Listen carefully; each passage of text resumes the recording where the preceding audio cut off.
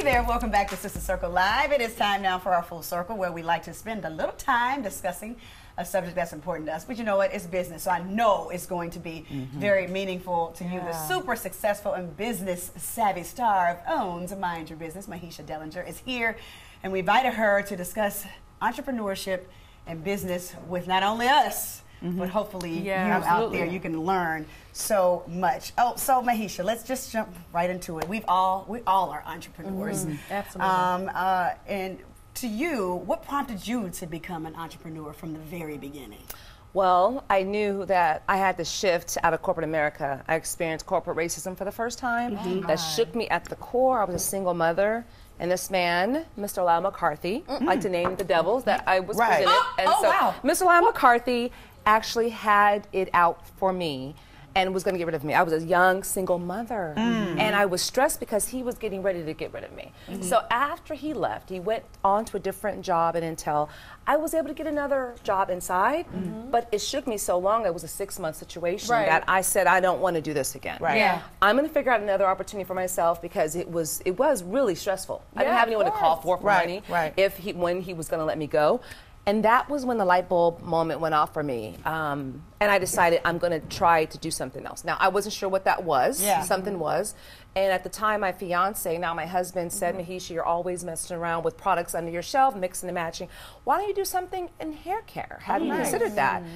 And so we were away in Santa Barbara vacationing for my birthday and I had a napkin and we took out, wrote some names and product names and ideas and brand names and came back the next Monday and went to work. Nice. Yeah. But I, but a lot of it is because you had the discipline and, and the will. Mm-hmm. And when you are willing to, to take the, the, the necessary steps, then I think you will yourself into success. Absolutely. Right. Yeah. Yes. Yeah. I agree 100% with that. Yeah. Well, what, what happens with people when they have an amazing idea and, you know, they're just doing stuff and then they get a TV show and then everything just falls by the wayside and then you're just not doing what you need to do?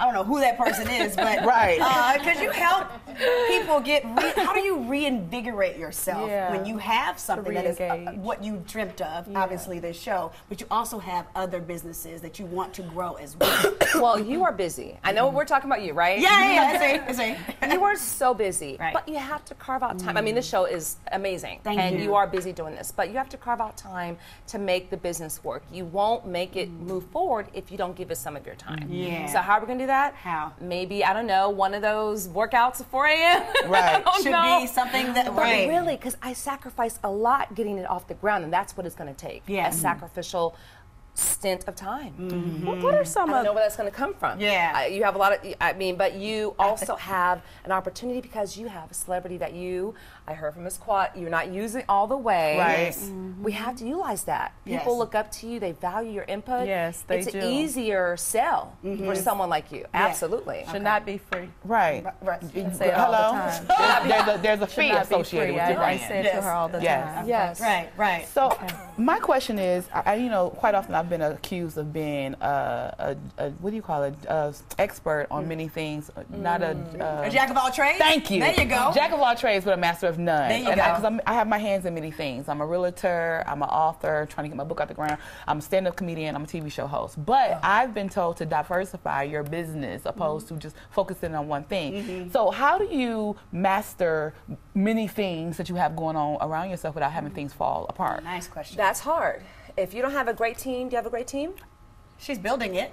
I'm building it. I need more. That's what it's going to require. If you, Right. you are, I, I got tired listening to your whole Yes. long list of things that you're doing. That's a lot. You need a great team that's actually going to run these businesses Yes. for you if you're not going to be able to. Mm-hmm. Now, I believe and I love and support diversifying, having lots of businesses, but typically they work better when you are under one umbrella. So, mm-hmm. under the beauty world, I know all day how to launch a beauty product, right? Mm-hmm. So, if I went from hair care, say, to a dog care line or skincare, that's in my wheelhouse. So, I can diversify, but still have the expertise, the contacts, and all of those things you need to seamlessly do so.